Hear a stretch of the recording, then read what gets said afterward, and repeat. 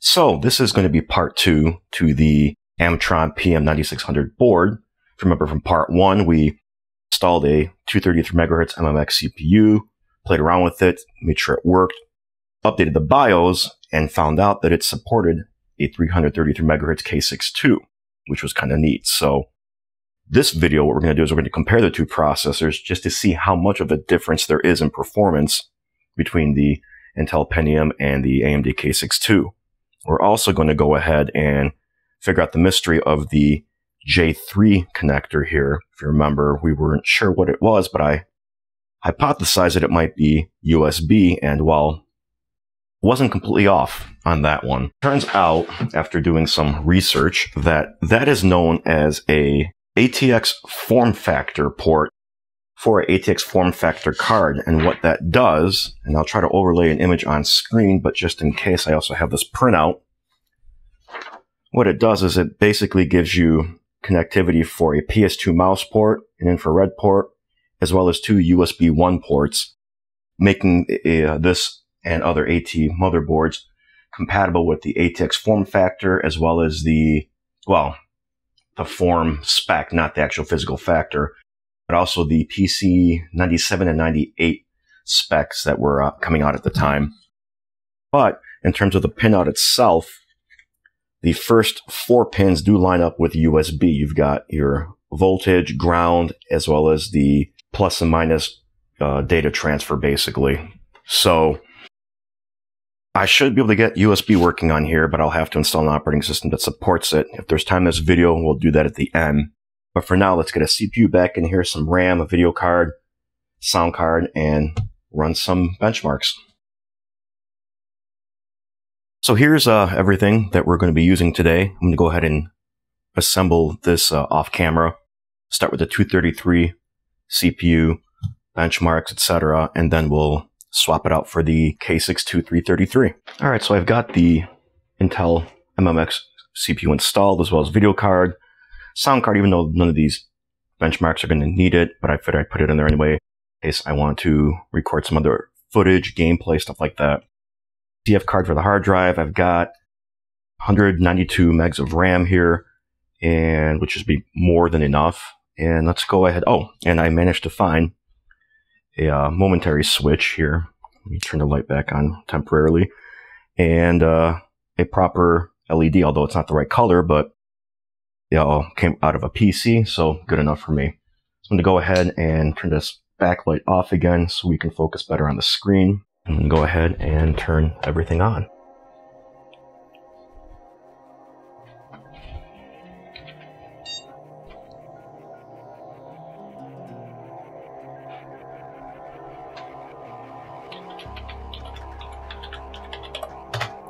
Now, all these tools were compiled by Phil's Computer Lab. I'll leave a link below to that website.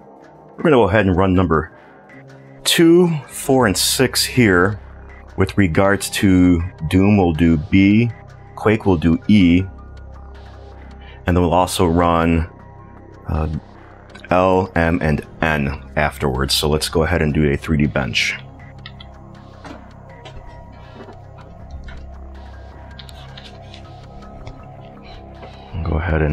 I will record these separately. 163. All right. Pretty sure that's good. Let's go ahead and do number four.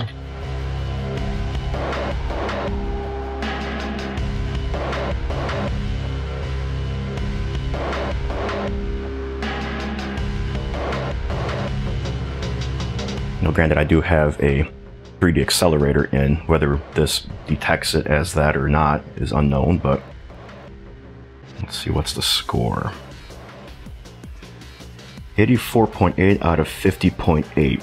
Okay. And now we'll do PC player benchmark, 640 by 480.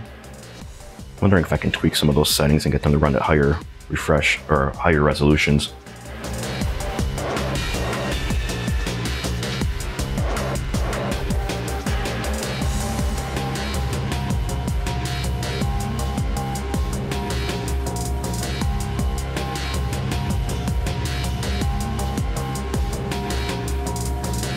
23.5. All right, let's go ahead and run Doom, although it's probably going to fly on here.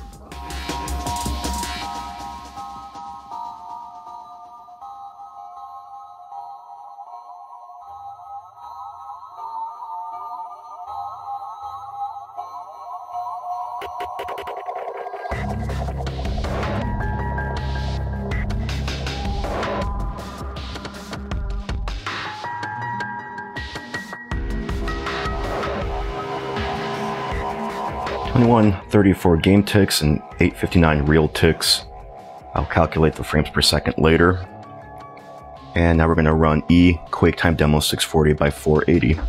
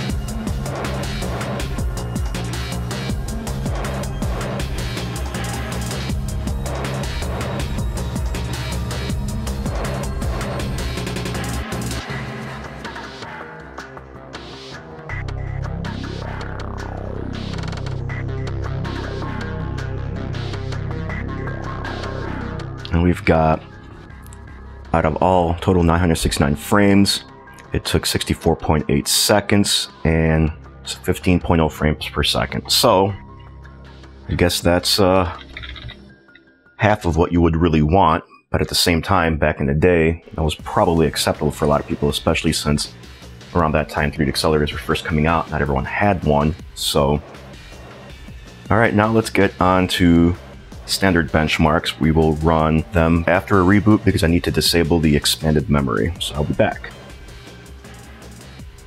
All right, and we're back. And so it thinks it is a 243 megahertz AT system with a just under 400 megahertz uh, floating point unit or math coprocessor. That's interesting. I don't know if that's accurate or not because I've run this before on my NEC PC, which is a 120 megahertz Pentium, and sometimes it was detected as a 386, sometimes it was a 486, much like this one's being detected. So it's it's tough to say. This software's probably super out of date, so we'll back out of that. And next we'll move on to Top Bench 3.0, which is option M. And it's coming up with about it's flickering between 415 and 414, so let's just say 14 and a half. I'll go ahead and just back out of that. And last one is SpeedSys, which is N. This is going to take a little bit of time to run, so I'm just going to stop recording and come back to the very end. All right, it's on all the memory, speed testing, CPU, and everything. It's at the hard drive, which we're not going to run because it's a CF card. But as you can see, it detected everything correctly. Pentium MMX, 233 megahertz, 66 megahertz front side bus. It's uh, there's a memory bandwidth, 80.25 megabytes per second. Detects the video card and the chipset, which it's TX2, but I believe that AOLA ended up buying them out. So most important ones we want to worry about are right down here. We've got CPU again, like I said, was uh, 173.75 the L1 cache read as 424.75 megabytes per second. L2 cache is 130.49 and the memory throughput was 91.74 megabytes per second. And here's a nice little chart so you can see everything all at once.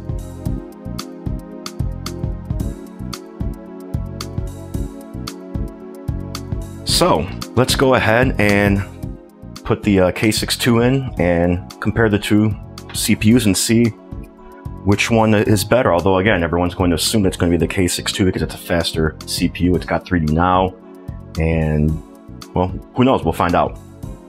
All right, let's go ahead and test the K6-2 now.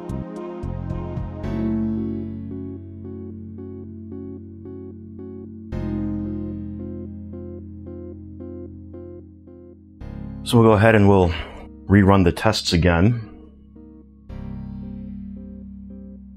And here are the results for the AMD K6-2. 3D Bench got 262, Chris's 3D Bench got 86, PC Player got 28, Doom 92, Quake 14, Landmark CPU 434, FPU 535, although again, those are probably not entirely accurate. Top Bench 444, SpeedSys CPU was 376, L1 cache was 1536, L2 was 211, and memory throughput was 116.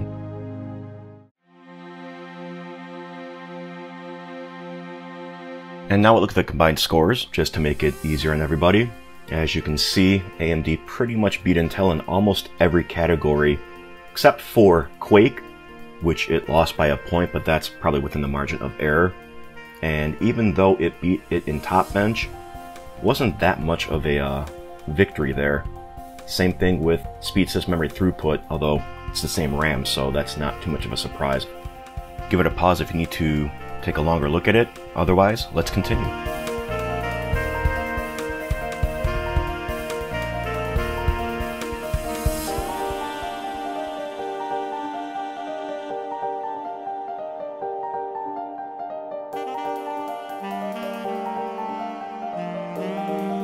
So the next step is to see if the USB port works. Well, if it works as a USB header, I'm assuming it's going to though based on the fact that it is an ATX form connector. I do have a USB mouse hooked up and it lights up. I'm going to go ahead and uh, install Windows 98 so we can actually verify that USB support is there. And I'm not going to make you guys sit through the entire setup process. So will resume once it's installed. And before we're even fully into Windows, the mouse works. So there is USB support on this board, and just plugging a standard USB header gives me access to that. Obviously, I don't have access to the other ports on there, the IR port and PS2 port, but who cares? I don't need those, so I can go ahead and finish setting up Windows, drivers, etc., and finish playing around with it and wrap this video up. So as you can see, Windows is installed. Got the K6 2 running what it's labeling as a K6 3D processor.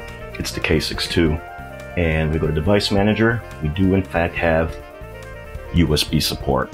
And for another verification, I've got my Gravis Gamepad Pro USB edition set up. Uh, let's see if I can focus on, yeah, so. And it does work.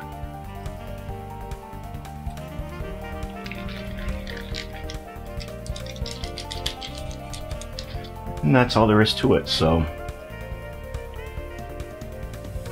Now I already installed all the drivers for the video card, for the sound card, etc. And I have those here. I also installed some games that we'll get to in a bit.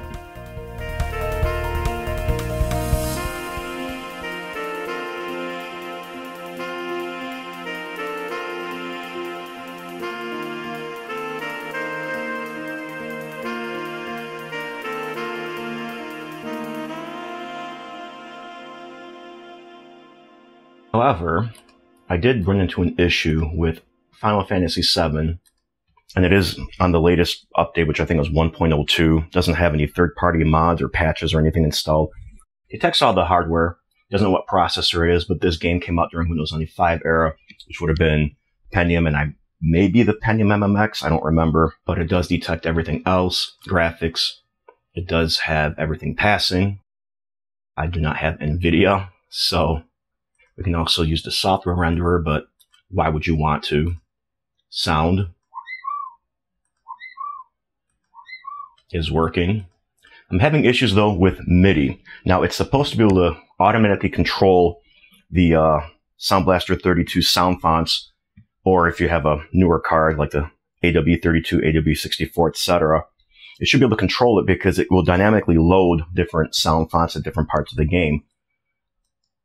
But it gives me this error opening device, and I don't know why. If I choose, if I choose General MIDI, it works fine, but it's using the default sound font, and it's not as good, obviously. If I choose this option, it fails as well. But if I choose General MIDI, it works fine. So for whatever reason, it cannot load sound fonts. FM Synth does work though.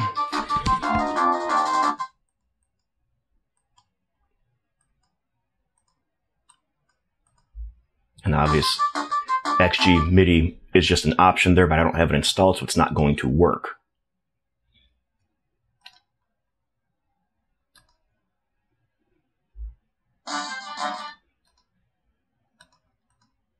I don't know why it does that. I haven't been able to figure out why.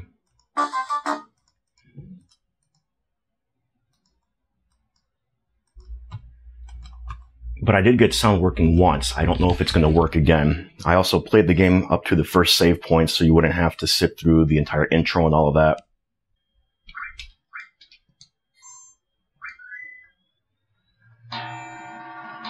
Oh, look at that it's working, but I can't tell if it's the standard sound bank or if it's the Final Fantasy VII custom one. Unfortunately. I think it's the custom one because that synth part that goes doo doo. I think that's the custom one. So.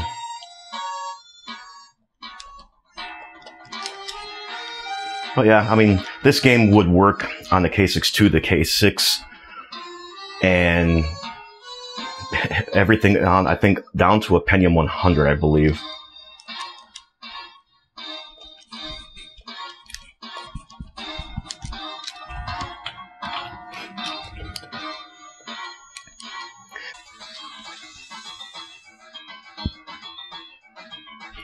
This game did never did not run smoothly without any patches or anything like that. I believe 15 frames per second in battle, even though this 3D accelerator is more than powerful enough to be able to do at least 30. But yeah, so for whatever reason, they limited it. I don't know if it's because of the software renderer, but it looks good, as you can see. Um, nice and clean. Unfortunately, the backgrounds and the FMV videos aren't so good in the PC port, but this was the early days, so. But I'll go ahead and we'll get out of this and we'll go to another game. And the next game I'm going to try out is Sonic 3 and Knuckles. This was a release on Windows as well, Windows 95 in fact. Minimum system requirements are Pentium and uh, supports MMX. Yeah, so you, actually at a minimum, this is what you need here. 486 100 or, or Pentium 75, 8 megs of RAM, SVGA, 256 colors, Sound Blaster 6 near compatible, and gamepad, joystick, etc which we've got my gamepad. Now, you're thinking I should probably choose FM synthesizer since, you know, the game was released on the Genesis and it was using FM synthesis, but no. For whatever reason, it does not sound the same, probably because they're not utilizing the same effects and other quirks of the chip because they don't have direct access to it. So they probably can't recreate that experience. I'm going to play Sonic and Knuckles. It doesn't do the Sega intro. I want to use joystick and full screen it.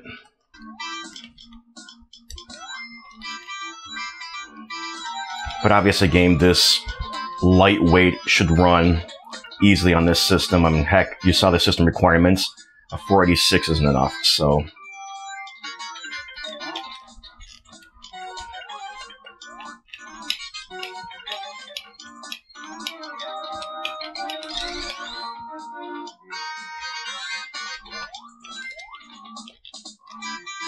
special area. So yeah, well, I mean, that's pretty much it at this point. I'm just wasting time. So, but I wanted to, you know, make sure that everything was working properly. And Windows is relatively stable. I mean, it's Windows 98, so it is prone to crashing. Uh, in fact, I tried to install a couple of DOS games and run them through Windows, and they just crashed Windows for whatever reason. I'm not sure.